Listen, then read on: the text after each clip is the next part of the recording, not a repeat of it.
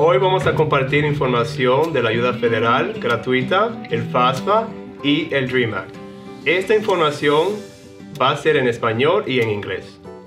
La solicitud gratuita federal FAFSA ya está abierta. Las universidades y los programas profesionales usan el FAFSA para determinar cuánta ayuda financiera usted puede recibir.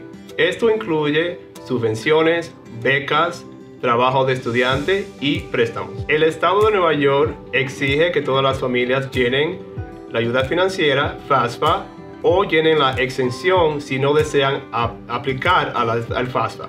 Recomendamos que todas las familias y los estudiantes llenen el FAFSA o el DREAM Act. Vamos a ir en la primera semana de diciembre a todas las clases de inglés de los estudiantes de último año para crear una cuenta de FSAID y entrar a la página studentaid.gov. El padre o el tutor tiene que hacer una cuenta también si ya no tiene una cuenta. Esta página tiene mucha información sobre cómo crear una cuenta de FSAID.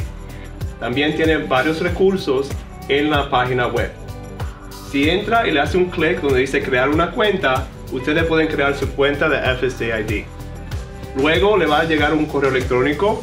Cuando reciba el correo electrónico, pueden iniciar su sección y llenar la aplicación de Financial Aid FAFSA. También para crear una cuenta necesita su nombre completo, número de Social Security y su fecha de nacimiento.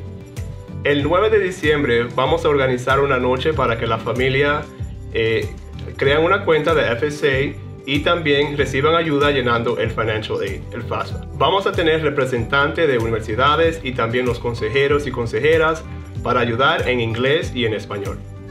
Para más información y para registrarse a la noche de FAFSA, lean el volante adecuado. Es el volante de la información de FSAID. El primer enlace es información sobre crear una cuenta de FSAID.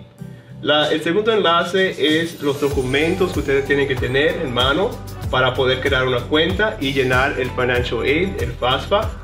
Y el último enlace es para registrarse a una sección el día 9 de diciembre. La primera sección sería a las 5, la segunda sección a las 6 y la última sección a las 7. Por favor asegúrese que usted y su hijo o hija esté presente.